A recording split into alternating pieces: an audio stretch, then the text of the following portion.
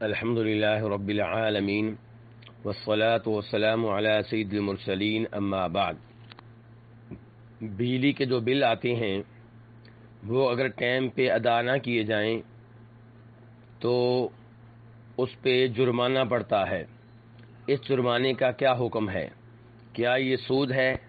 जी हाँ ये सूद है और ये वही सूद है जो ज़माने जाहलीत में भी लिया जाता था।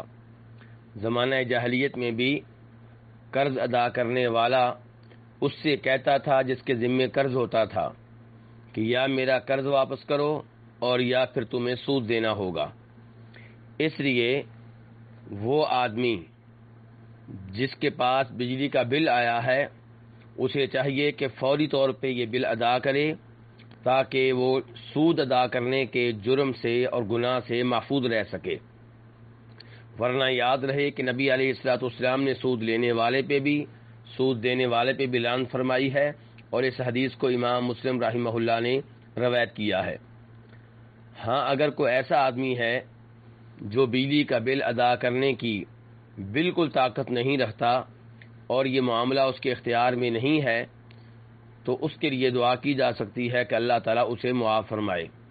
लेकिन बिल अदा करने में सुस्ती करना और फिर इस वजह से जुर्माना अदा करना, ये सूद अदा करने के ज़ुमरे में आता है और ये शदीद तरीन गुनाह है। ऐसे ही वो कंपनियाँ जो बिजली के बिल वसूल करती हैं, उन्हें चाहिए कि वो ये जुर्माने वाला सिस्टम ख़त्म कर दें, क्योंकि ये शरीयत के ख़िलाफ़ है, कुरान के ख़िलाफ़ है।